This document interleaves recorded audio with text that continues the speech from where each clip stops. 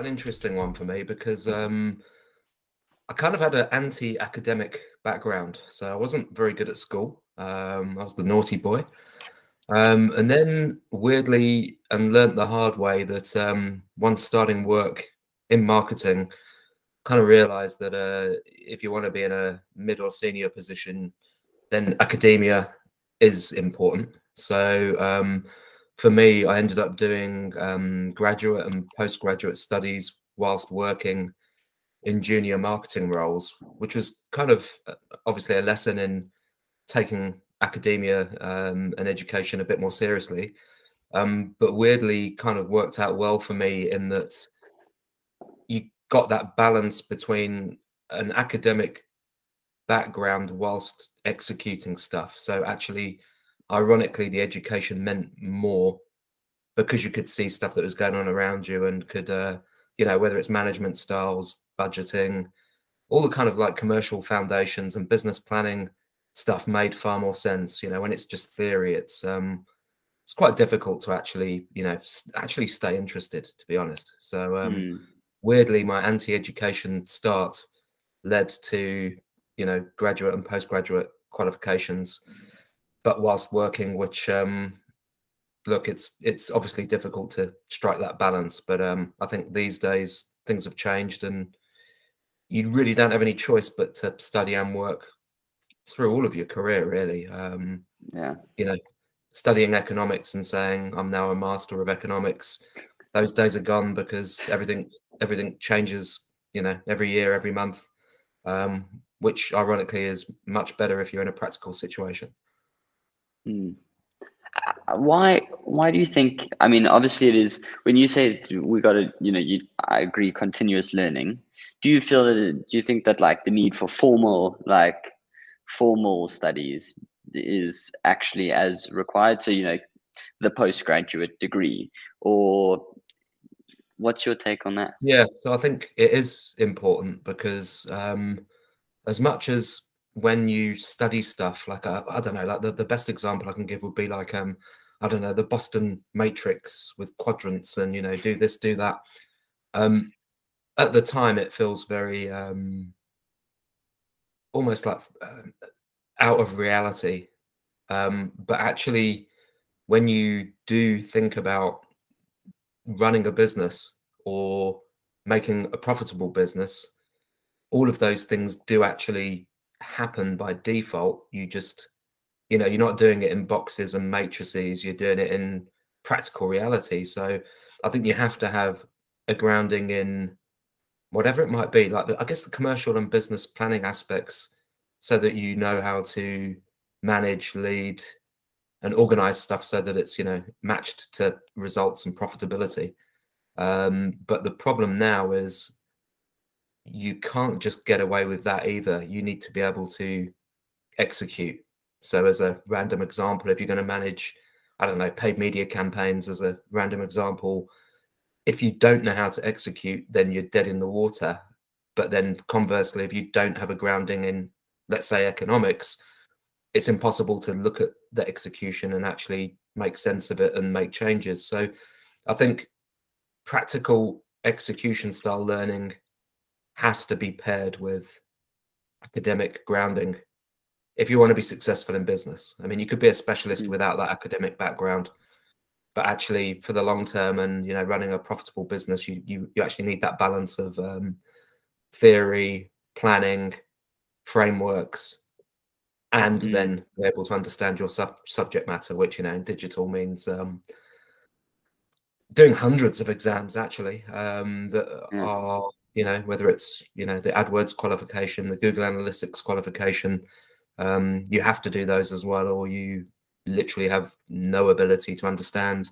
Even if another agency is running those things for you how do you know if they're doing a good job if you don't actually understand how to do it? The biggest one early days was um, it, trying to achieve everything in terms of like you know being diligent and trying to do a good job so ironically trying to do everything when actually not everything's important so nobody can do everything these days so i think in the early days not being able to rank stuff by importance and impact was definitely a problem. Um, and then a fear of making mistakes at the same time. So, I mean, I guess the best analogy here would be like, I don't know, if you're going to build a, a new website, um, the tendency is to agonize over it for what you think is months, it turns into a year, when actually it would have been better to deploy something half baked, learn from the practical results that come back from it, and then worrying about mastering it. So I think in early mm. career, people get stuck by their own uh, their own strive to try and be on top of the job when you can't be on top of everything anyway. So I think you have to accept that mm. and kind of go right. What's actually going to make a difference rather than just like ticking boxes and climbing the career ladder um, through pleasing people. But I think if you want to be an entrepreneur, then and run a business, then you have to accept that you're going to fail, um, and you're going to cry sometimes. But you have to shrug it off and get on with it. So yeah, procrastination and prioritization, I guess, would be the biggest um, things that I guess sadly come a bit with age and experience. But um, if someone had told me that at the time, I think I might have actually gone, "Oh no, you're actually you're right," which I guess brings in that other element, which is uh, there's education, whether it's formal or um, practical, but actually sometimes that mentorship kind of role is another aspect of education and development that um, mm. I guess get, uh, gets missed in the academic process.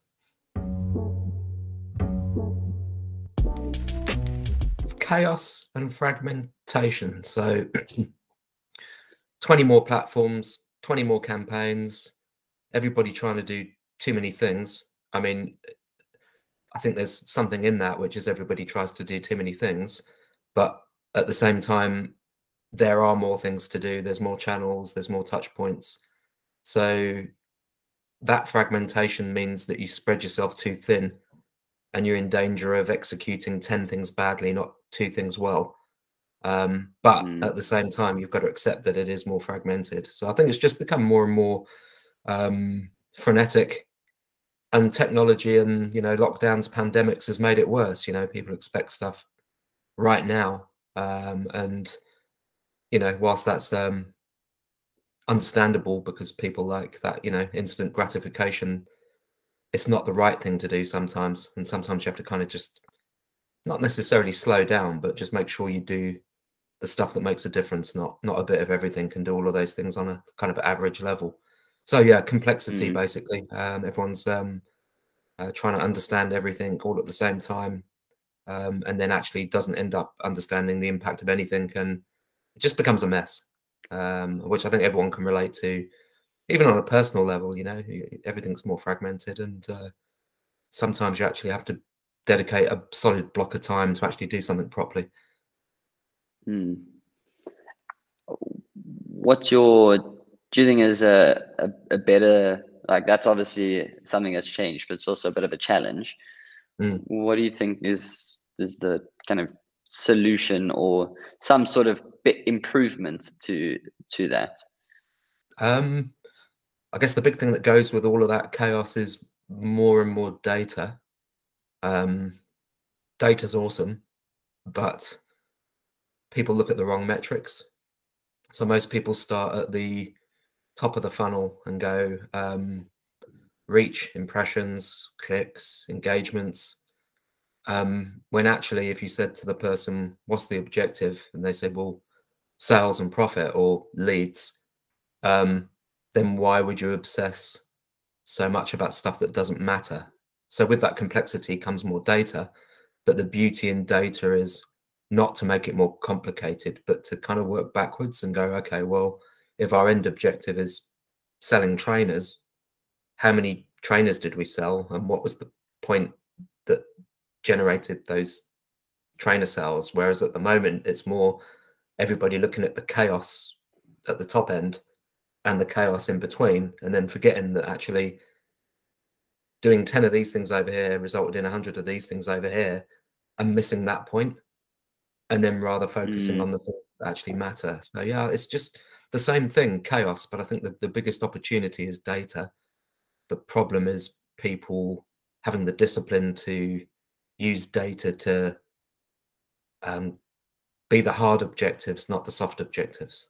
Marketing's a bit a bit too fluffy, and um, it shouldn't be. It should be it should be business, not not not not reach and engagement. I mean, those things all play a role, but uh, the hard yards is where you should start measuring stuff. So,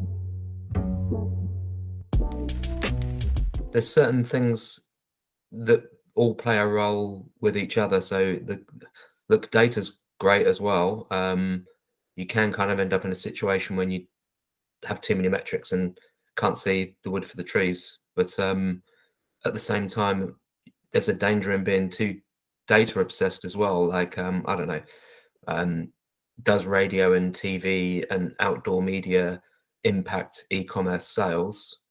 The, the immediate answer would be no, not really. But actually, then you have to kind of, you know, the data tells you it doesn't. But actually, there's a whole unknown still in marketing, which is, you know, would you even trust a brand if you hadn't heard them three times on the radio or seen their television ad? Um, so I think you kind of have to try and put everything into the same melting pot and accept that the role or objective of certain um, media is um, not the same. So you can't treat all channels the same as an example. You've got to say, okay, well, the role for this one is got a different objective, and yeah, I guess yeah. the danger is trying to trying to be too narrow. So as much as I said, you know, this thing resulted in these trainers, there might be many points within that, but don't judge them with yeah. the same metrics. Yeah. From my side, um, definitely automation of process. So, from a business perspective, humans are erratic and frankly useless, and we can all put ourselves in that camp. Not very disciplined. Um, so, there's a lot of money and time spent getting people to do stuff that could be done through a process. So, that's definitely one side, which obviously has a threat to, you know, people. But actually, the outtake on that is you have to be educated to be able to run the process now, not do the process. So I think you know that's another thing that says yes. you know you have to you have to know what you're doing and be educated to live in a world where automation is actually a thing and just accept it. Um, and then I think um, the other interesting aspect for me is more not in the creative space necessarily in terms of like painting a picture, but in content production and writing um, artificial intelligence is now actually look only in recent months actually now in a space where it's actually getting pretty decent. Um, the only problem at the moment is its kind of input in has to be good for the output to be um, uh, good on the uh, flip side. Um, but we're definitely in a space now where a machine can do 80% of the heavy lifting when it comes to content writing provided a you, you're using the right tech and b the brief, if you like, that you put into the AI is strong enough to give it a chance of succeeding. But uh, there's some pretty impressive stuff out mm. there now for content marketing. So I think that's exciting. And then I don't know, creatives shouldn't see that as a threat. They should see that as the opportunity to polish what AI can produce, not not see it as a threat. Constant learning so accept you've got to constantly learn. Um, skew that learning towards skills, as in being able to deploy something or execute something. And then I think pair that with a mentor of some form, because you can be highly academic or highly good at executing as a specialist in a particular area, but unless you've got someone with experience and someone you respect guiding you, um, it's very difficult to actually grow fast or in the right successful direction. So I think the one advice would be constant learning, bias towards execution learning after you've got your academic uh, background or uh, grounding, and then definitely pair that with some kind of mentorship or even work with a company or an individual that you respect and can learn from.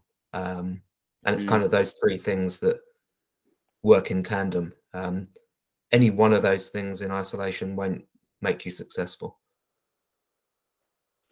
What's an example of execution learning? And uh, like, oh, a good example would be uh, Google AdWords. Um, so anyone could learn that, would know how to create a campaign, load a campaign, um, but that's as far as it goes. Um, from that point onwards, that education framework might help you un to understand the data and how what the objective is and what you're trying to achieve. So that would be kind of like the academic input to being good at it rather than just an executor.